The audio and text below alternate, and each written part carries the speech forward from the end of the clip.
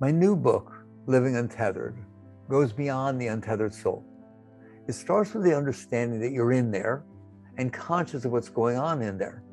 The problem is there's so much going on in there that it's generally overwhelming. And what we end up doing is trying to control life so that we don't get overwhelmed.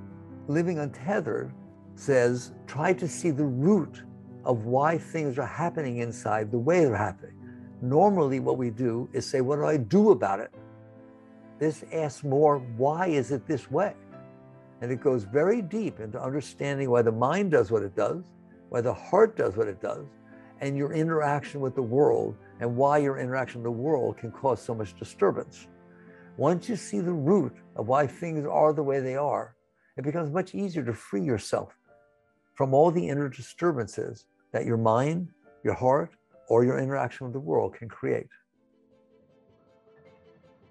I'm very excited about the release of my new book, Living Untethered. It approaches spiritual growth in a very unique way. Instead of saying, these are your problems, and here are techniques and methodologies to try and deal with them, it says, what is the cause? Why are you having these problems? What is the root of where these problems are coming from? Not just, I have this problem, what do I do about it? Once you truly understand something at its root, it ceases to have the same hold on you that it used to. It becomes just, oh, I see, that's what's going on here. And all of a sudden, you're freer than you used to be. My new book, Living Untethered, has a very, very broad audience. There isn't anyone out there that doesn't want to achieve a state of total well being, unconditional well being, self effulgent state of love, happiness, inspiration all the time. That's who the book's for.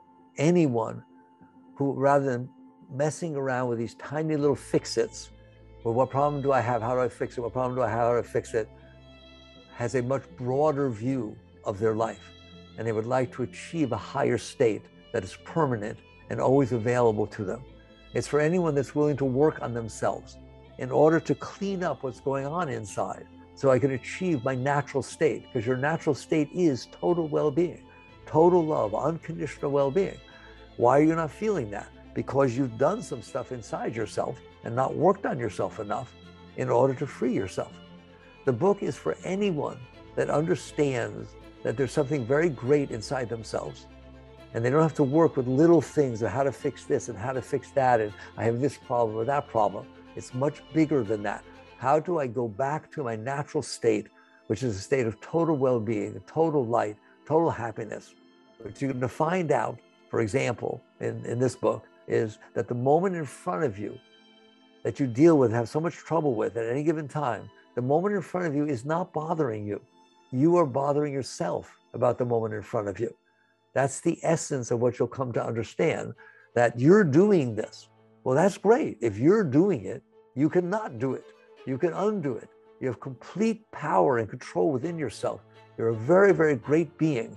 It's just a question of learning why you messed up, why things are the way they are, and then going back and working your way through the disturbance you've created inside yourself. It's not that you're going out to fix something. You're going to the root to find out what did you do to mess up your natural state, which is love, is high, is clarity, is filled with spiritual energy. Living untethered will help you achieve that state.